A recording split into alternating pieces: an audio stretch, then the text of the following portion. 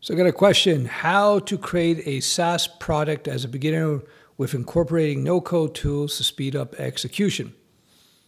So in other words, can you build a startup without knowing how to code or just with no-code tools? Depends on what you want to build. When you're looking at no-code solutions, they are nothing new. No-code solutions have been uh, around for decades now, and uh, we and all a no-code solution is is an abstraction over some other technology, meaning a layer on top of something. And all the modern languages, JavaScript, Python, PHP, uh, Ruby, Swift, uh, and so on and so forth, Java, C Sharp, they're all layers on top of other technologies as well. So don't look at low code as being something uh, new, something special. They're not. They're just the next step in that abstraction advancement, if you will. So, to answer your que- question, can you develop SaaS products as a beginner, meaning you don't know anything about code, with no code tools? Potentially, but it's going to be more of a challenge. When you're developing a SaaS business, uh, the software is not actually the hard part. The hard part is figuring out the use case. The hard part is figuring out what exactly does the software do that makes it compelling enough for people to pay for it. And that usually comes down to you having a really good understanding of the business problem or the business that you're trying to solve. Whether you solve it with no code or uh, the web stack, or in some cases you might need mobile apps to do it, et cetera, and so on. It's that's almost secondary.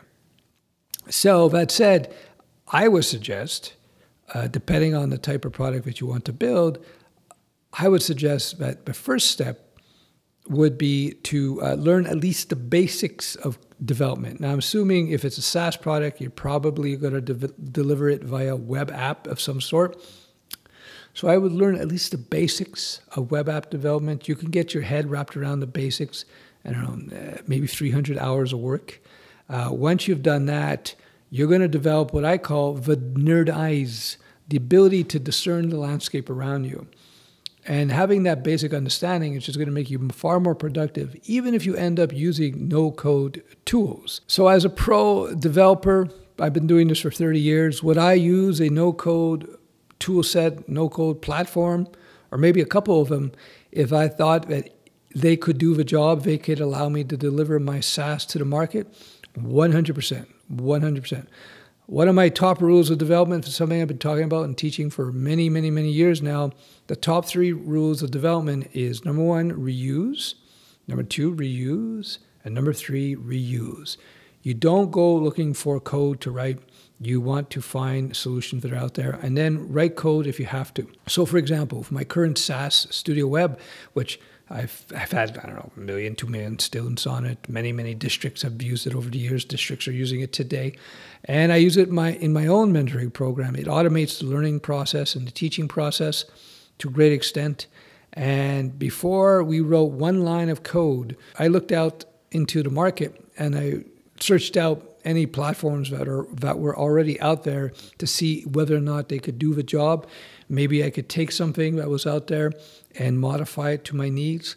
That was our first instinct. And we actually built out a prototype of what eventually became the Studio Web app.